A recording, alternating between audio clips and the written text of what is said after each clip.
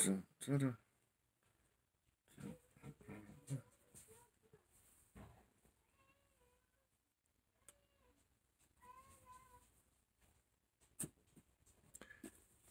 reading of the New Testament as rendered by the Gullah people.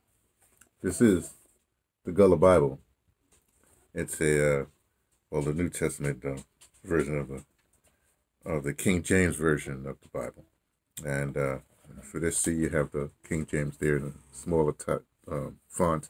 Then this is the Gullah over here. In fact, it's good. Let me just go to this page. Why not? Like that. Um, and as you know, every day what we do is we read out of the Bible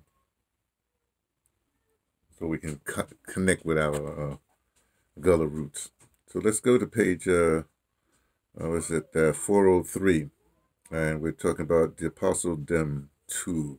The Apostle Dem, let me find out what that translation of the Apostle Dem is. Uh, the, the work, the work what the Apostle Dem, oh, it's Acts. Acts, okay. Uh, so this is Acts 2, and let's just pick anyone. We'll do we'll do a small one. A 21, the last of this. See these things here? The last one of these things like this. On page 403 again. Here we go.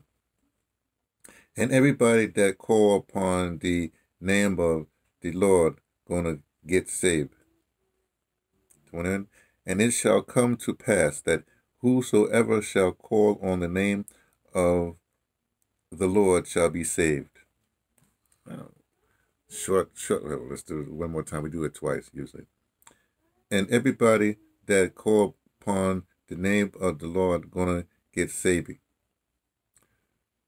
And uh, the translation in the you know the old old English, the Christopher Marlowe, you know Shakespeare kind of English is, and it shall come to pass that whoever shall call on the name of the Lord shall be saved. There you go. A reading of the uh, the New Testament as written by the my peoples, the Gullah, the Gullah, Gullah Geechee people.